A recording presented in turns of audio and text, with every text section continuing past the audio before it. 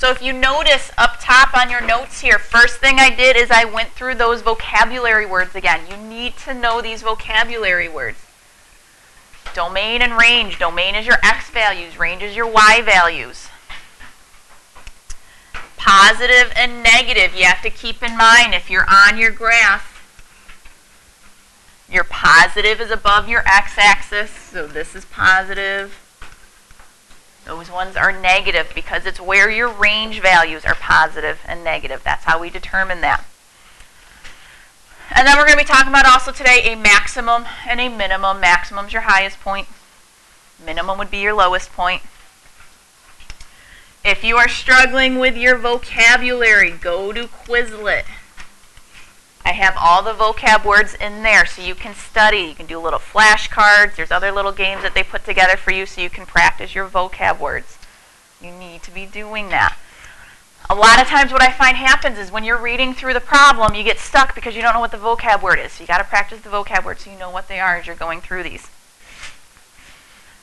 All right, so first thing we're talking about is how to identify a linear function versus a nonlinear function. It's a pretty easy concept. Linear functions form straight lines. So like this horizontal line or diagonal line here, those points still make a linear function that still cr creates a straight line. We got our horizontal line there. There's only one kind of line that's not a linear function. Does anybody think they know? Josh? What is that called? Vertical. Non-vertical lines. It can't be a vertical line because remember, a vertical line is not a function. It fails your vertical line test. So keep in mind, if I were to have a vertical line like here, try to do my vertical line test, I draw a vertical line on it and it hits it at every single point. So it would fail a vertical line test. It's not even a function. So our nonlinear function is a function whose graph is not a line or part of a line. So like for example, this one here, clearly it's nonlinear, does not make a straight line. It's got a little curve. This one also has a little curve to it. And then this graph we did last class. What do we call that graph? Hmm? We did an entire day. Absolute value.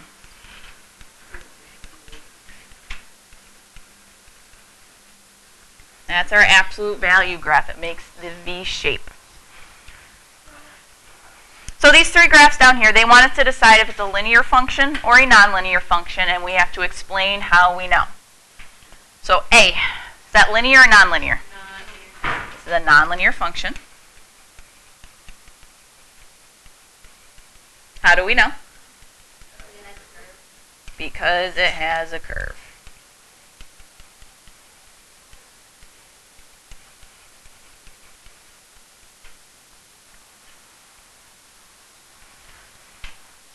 So let's see if you can figure out B and C on your own. Put an explanation, and then we'll see how you did in a second. So graph B, what kind of function is it?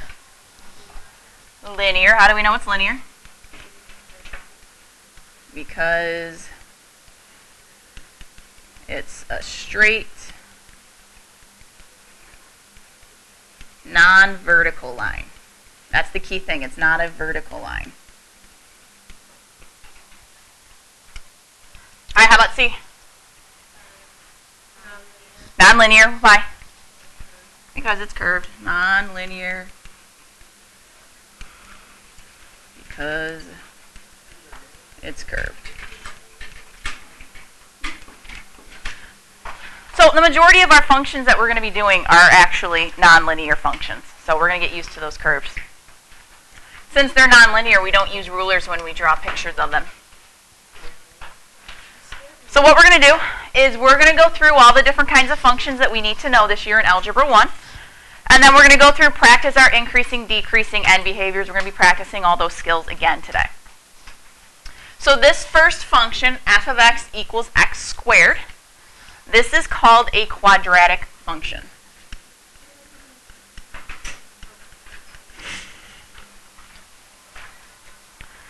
So with our quadratic functions, when you go to graph it, you need to get a table of values so you can have your points to graph. So let's go to our calculator. All right, so in our calculator, we're going to go to the y equals because we're graphing it. I need to clear the stuff out that I had in there.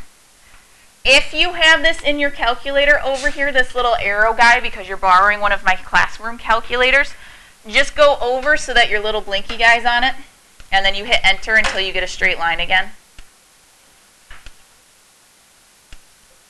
Go.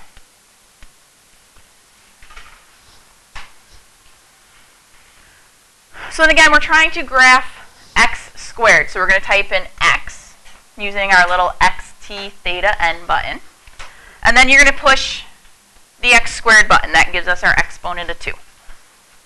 So we got our function x squared in there. So we'll take a look at our graph. And this forms a U-shaped curve, as we call it. So what happens is these values right in here are going to repeat themselves. Our y values are going to be the same. Because whether I'm here or here, they both have a y value of 1. Here and here both has a y value of 2. Same thing with your 3. So we want to look at our table, and we need to find a pattern. So I need to arrow down. And here's the pattern I'm talking about. In your Y column, your top and your bottom number are the same. Then those next two are the same. Then those next two are the same, and then you've got one in the middle. That's your pattern for your quadratic. So once you have that, go ahead and copy it down into your table.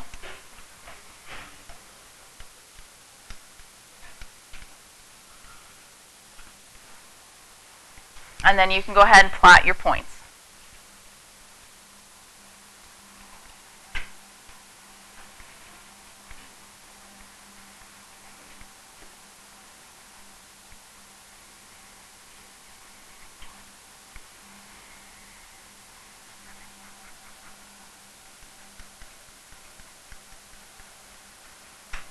Again, remembering to extend your curve all the way up to the goes off the graph. Want to put arrows on it and label with the equation f of x equals x squared.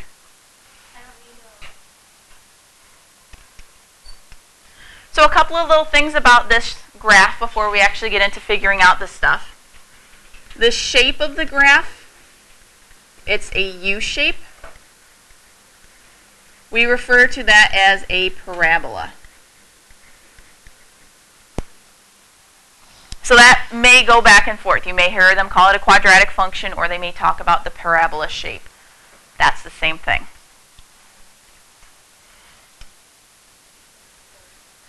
Okay. Let's practice these. Increasing and decreasing. I drew my little line here because I'm going to write my increasing interval here, my decreasing interval over there. So if I start on the leftmost point of my graph and I start following it, am I increasing or decreasing right now? When do I stop decreasing? When x is 0. So if I look at my x values when my graph was decreasing, I have negative 1, negative 2, negative 3, negative 4. Those values are what than 0? Less than. So I am decreasing when x is less than 0.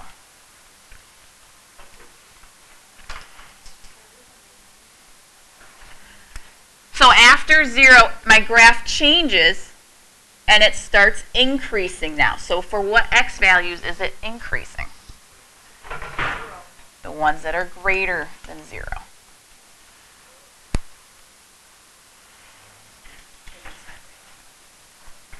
Our end behaviors, these are the easier ones. Which way is my left side of my graph going, up or down? Up. Left side's up. Right side is also up.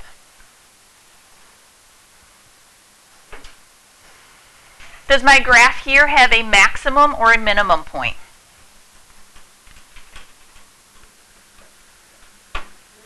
Minimum. It's got this point right here, which is the lowest point on the graph. Nothing will be lower than that. So my graph has a minimum at the point zero, zero.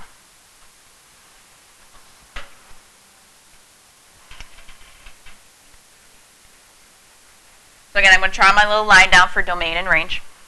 I'm going to write my domain underneath the word domain, my range underneath the word range. So domain first, we have arrows on the end. Could it possibly be every single x value available? Yes. Because of the arrows, it's going to keep going. So x is an element of the reals. Looking at our range, though, can it be every single y value? No, it's never going to be these negative numbers down here. The graph's never going to turn and go back down. So our range would be y is greater than or equal to 0.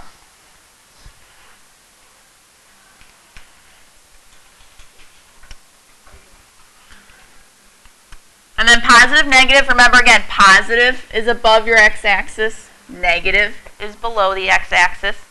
Is our graph ever negative? No. So negative is a little line. It's never negative. Now here's the one thing I didn't get into just yet with positive. The whole thing is positive except for right here because 0 is what? 0 is neutral. 0 is neither positive or negative. It's just 0. So for positive, we have two ways that we can write it, and you can really choose either of the two ways. We can say x is an element of the reals, comma, x cannot equal 0. So that means it would be positive for every single number except for when x is 0. Or the other way you could write it is x is less than 0 and x is greater than 0. So you're saying it's positive when x is less than 0 and when it's greater than 0. So either of those two ways doesn't matter. What was that, Tanner? x cannot be equal to 0 because then it's not positive. So, can't equal 0. All right, number two, this is our next kind of function. Does anybody know what kind of function this is? What's this symbol called here? Square root. So this is a square root function.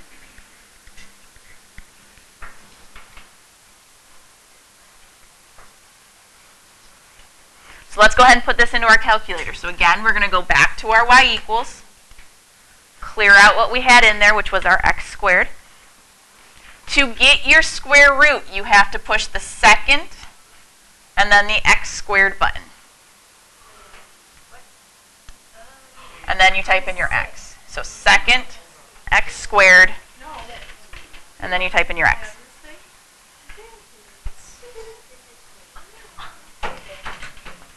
So if you look at your graph, you should have a graph that looks like that. It, it has a slight curve to it, yep. If we look at our table, we have a few in here that are errors. Do you know why our negatives would be errors? You can't, you can't take the square root of a negative number. So that's why it says error in your table. You want starting with 0. Well, bless you. Negative 1 was another error, so we'll put error in our table there. 0, 0, 1, 1. You can skip around to all of the whole numbers, which is what I did in my table. So I skipped to 4, which is 2, and then 9, which is 3. You don't have to graph the decimals. It makes your life easier not to graphing the decimals. So I'll go over here 0, 0, 1, 1, 4, 2, 9, 3. We will have an arrow on the right side of the graph only. Because of the errors, it does not continue past the 0, which is why there's no arrow on our, our arrow on our left side.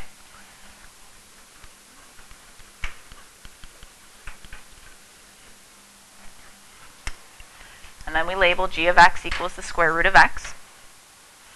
Now this graph doesn't have a special name to it. It's just a square root function.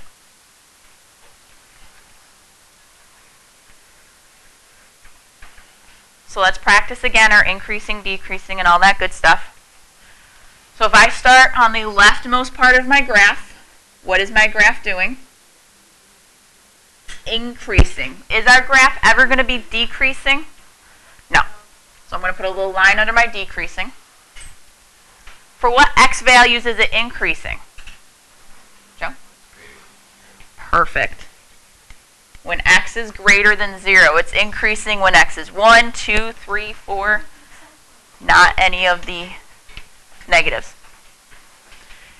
End behaviors for this graph, there is no left side end behavior because there's no arrow. It terminates. So you would just do right side. It's going up because the right side is increasing slowly, but it is increasing. So that's why its right side is up. Do we have a maximum or minimum? We have a minimum. Where is our minimum? Zero, zero, right here. It's our lowest point. Nothing will ever be lower than that.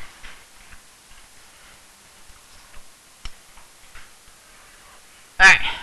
Domain and range. What x values are we using? Caitlin, you think you got it? Well, we got the arrow, so it's going to keep going that way.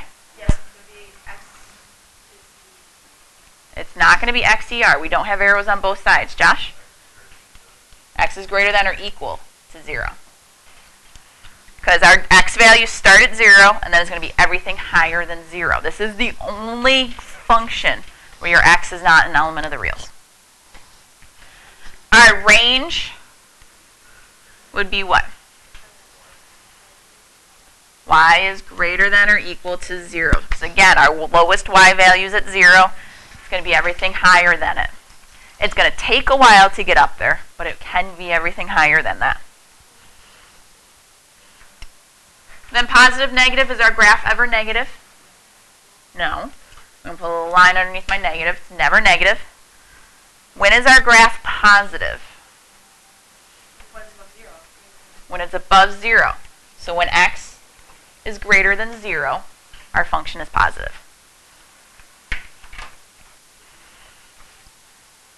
Seems like we're starting to get a little bit better with these. That's good. All right. Let's try our next one. Now, if you look at the equation, this one looks very similar to our last one. But this one is slightly different. Does anybody know what this one would be called? It's got this little 3 here. Ah, so close. Cube root. This is a cube root function. So let's go to our calculator. Go back to our y equals. Clear it out. So to get the cube root, you're going to go to math. And then choice 4 right there is your cube root. So we pick the cube root and we type in an x. And then you arrow over once to the right to get out of your cube root.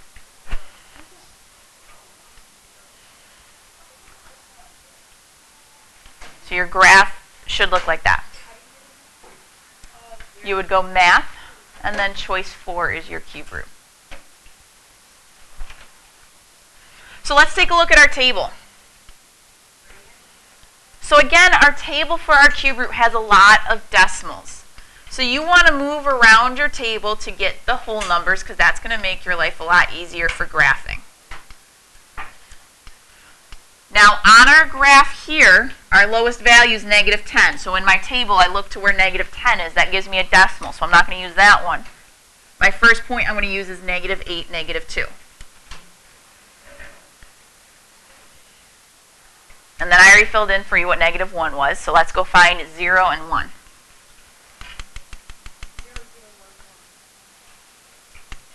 Yep, 0, 0, 1, 1. So once you got your table filled in, go ahead and plot your points.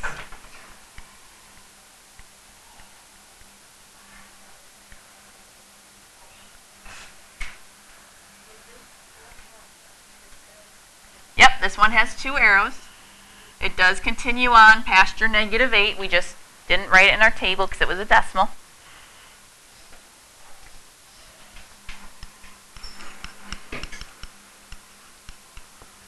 So we get h of x equals the cube root of x. Make sure you label your graph.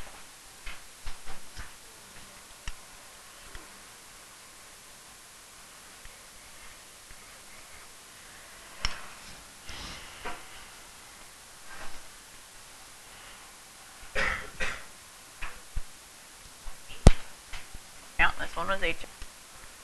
Is this graph increasing, decreasing, or both? Not both. Remember, if we start on the left and I follow my line, it's increasing the whole time. Parts of it are increasing very slowly, but they're still increasing. So this graph is never decreasing. So what are those three letters we write when it's increasing the whole time? X is an element of the reals. Our graph is always increasing. End behaviors, we can do end behaviors for both sides this time, left and right. Again, it's very slow, but the left side is going down.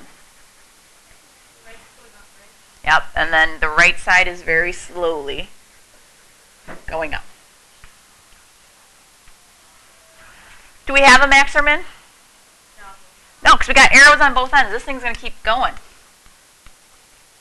No max or min here. Okay, domain and range. What would be our domain? Joe's got this. X is an element of the reals. Our domain could be everything. That graph is going to keep going to use all of our X values. The only thing with range, though, is we got to put Y. Y is an element of the reals. It will keep going up and down, and it'll take a very, very long time, but it will eventually use every single Y value that is available to us. All right, positive and negative. We have a part that's positive and we have a part that's negative for this graph. It changes from positive to negative right there when x is 0. So when x is less than 0, so these values over here, are we positive or negative? Negative. So when x is less than 0, our graph is negative. So therefore, when is it positive? When x is greater than 0.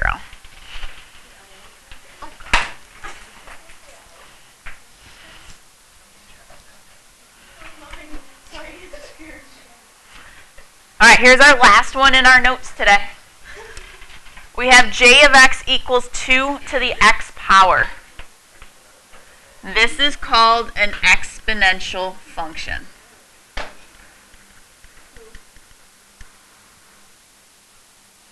It's called an exponential function because your variable, your x, is in the exponent spot. That's how it's different than our quadratic where it was x squared. You had a number in your exponent. When the variable is in your exponent, it becomes an exponential function. So we'll go to our calculator, go back to your y equals, clear it out. To get our exponential, we're going to type in our 2. And then this little caret button right here underneath the clear gives you an exponent. And then you put your x in there. And then you make sure you arrow over once to get out of the exponent. So then if you look at your graph, you get a little curve like that. That's our exponential curve. Yep, so when you graph your exponentials, you want to have a couple of decimals in your table, and then the rest of them should be whole numbers. So our negative 2 would be 0.25. Our 1 is what? 3 is 8. So I always graph my whole numbers first. So I start with 0, 1, 1, 2, 2, 4, 3, 8, 4, 16.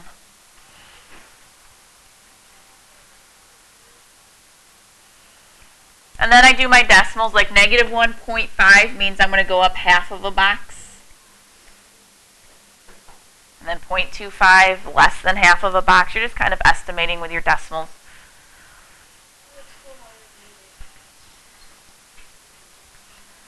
And again, you want to connect your points, make your curve. Yep.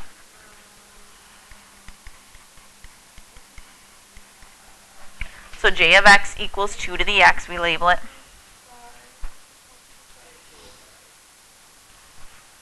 We're going to do a whole unit about exponential functions later on in the year. Like these little curvy lines, these little curvy lines. Yep, these little curvy lines.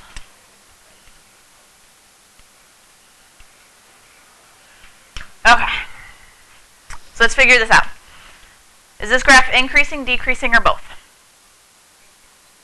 Increasing. It's never decreasing. So again, if you start on the left, you follow your curve, it's going to be increasing the whole entire time. So when it's increasing the whole time, its x is an element of the reals. End behaviors, left side is down, right side is up. Do we have a max or min? No. None. What would our domain be? We've got arrows, so it's going to keep going. Will it eventually use every x value?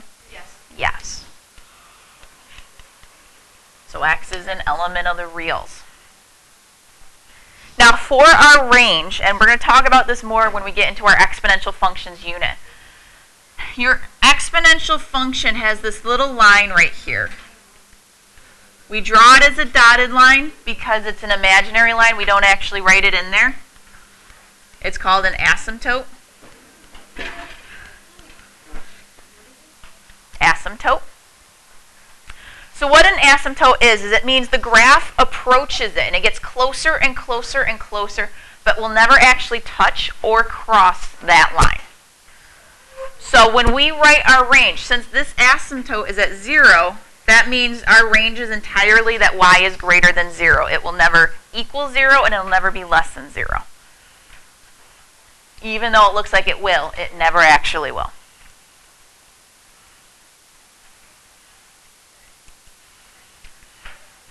So then for our positive, negative, will this graph ever be negative?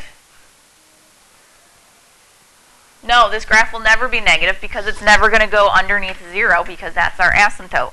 So then that means the whole thing is positive. So how do I write that? X is an element of the reals. So between this, your linear functions, and your absolute values we did the other day, these are the functions that we need to know this year. So you need to know them by the kind of equation they are. So you have to be able to recognize the hints. You have to be able to recognize them by the graph. So you need to know that this little curved line like this means it's an exponential function.